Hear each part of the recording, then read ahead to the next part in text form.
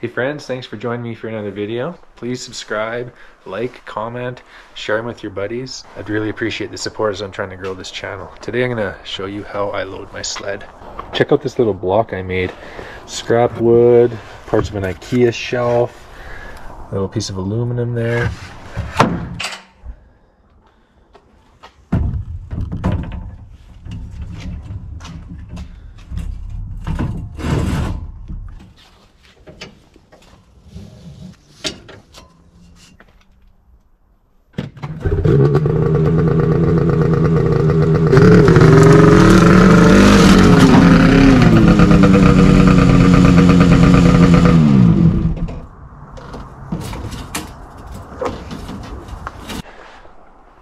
Every time I load my sled, there's zero wind. And there's all this smoke, as you can see.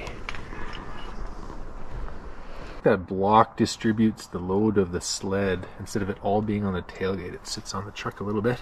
It sits really flat. Best thing about this block is you can get your ramp out without having to lift the sled or get a friend to help you.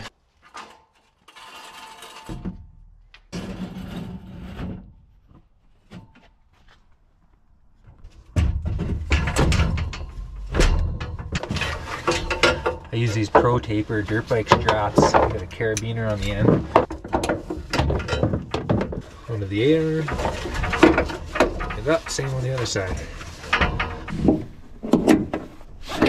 They have a little Velcro so you can strap up all the excess so it's not blasting around in the wind, messing up your paint job, getting caught in your wheels.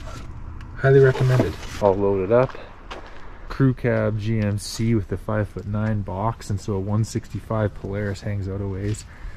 That block makes it sit nice.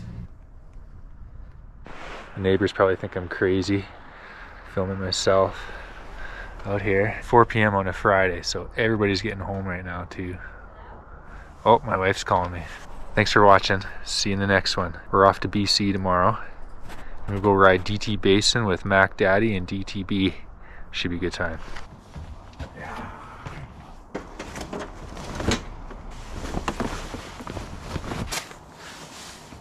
Think about turning this into a bit of a vlog. Or should I just stick to tutorials? Stay tuned for more.